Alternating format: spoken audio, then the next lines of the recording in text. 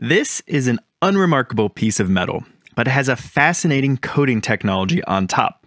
The black color is from a process known as phosphate conversion coating, but it's probably better known as Parkerization, and it's commonly used on firearms. This process leaves a thin black coating on top of steel. This helps prevent rust and improves wear resistance.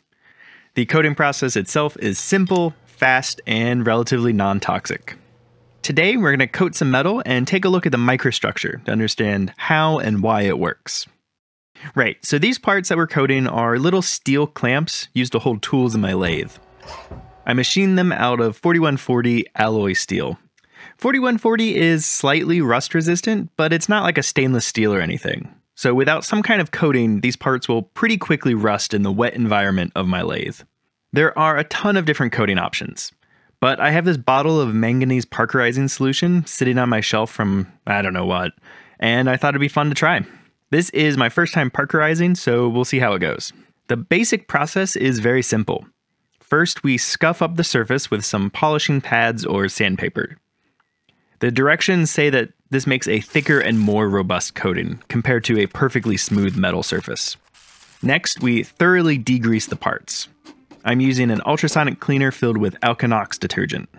Then you flush the parts with water to get rid of the detergent, and I rinsed a few more times with acetone and isopropyl alcohol, just to make sure there's no organic contaminants which would inhibit the coating process. A pickling step with acid is sometimes recommended to remove oxidation, but since these were freshly milled, there's no real oxidation or rust, so I skipped that step. Next, they are immersed in hot parkerizing solution. This is basically phosphoric acid with dissolved manganese, and probably some other proprietary ingredients. The hot phosphoric acid reacts with the iron in the steel and generates hydrogen gas, which we can see here as bubbles. This reaction increases the pH of the solution right next to the metal and causes the manganese to precipitate out as manganese phosphate. Some of the iron also reacts to form iron phosphate and deposits at the same time. These phosphates cover the surface of the metal until all free surface iron has been reacted, and then the coating process stops. The parts are removed, rinsed thoroughly in fresh water, and then dunked in something like WD 40 or alcohol to remove the water. Finally, they are coated with a light oil. This part hasn't been dunked in oil yet so that we can get a clearer look at the coating. And we can see that I didn't do a great job. The coating looks inconsistent and almost entirely missing in places. I have a few ideas why, but let's pop these into the electron microscope first to get a better look. Here's the plain steel surface prior to coating.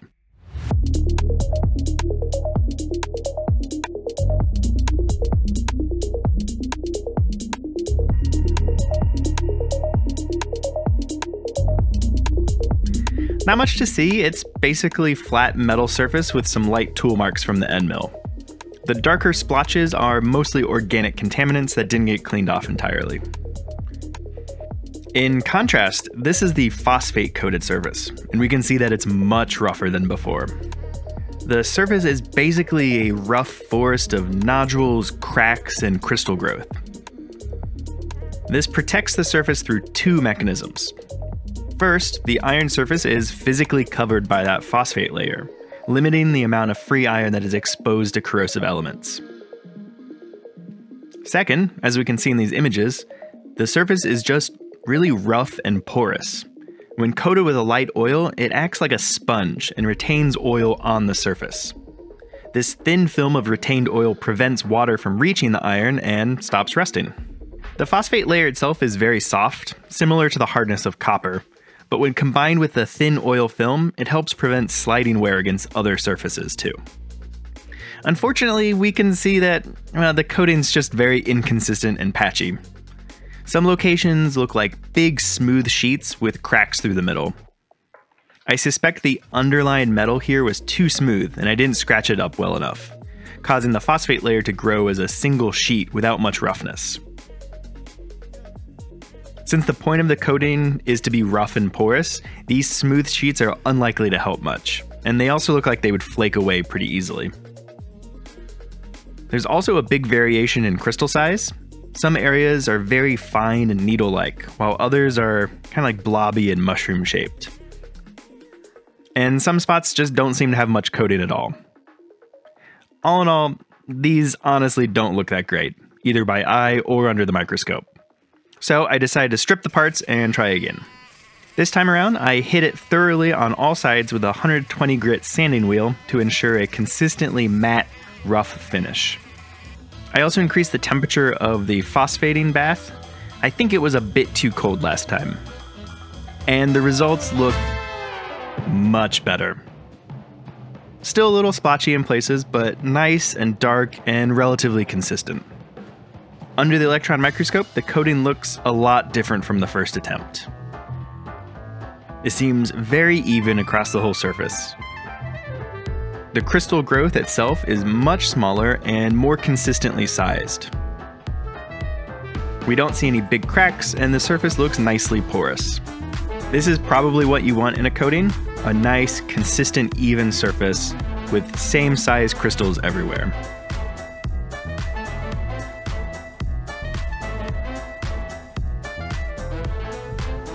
If we scan it with an atomic force microscope, we can see the topology in three dimensions.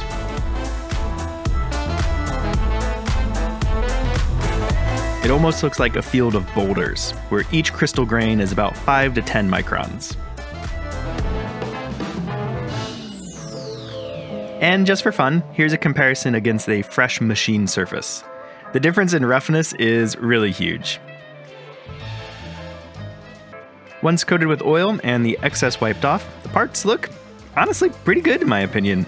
Certainly not bad for an hour or two of work, although we'll see how well it stands up to abuse once I start using them. Alright, that's all I've got for you today. Just a short video, but I thought it was neat to see how a common coating like this worked at a microscopic level. Thanks for watching, and I'll see you all next time.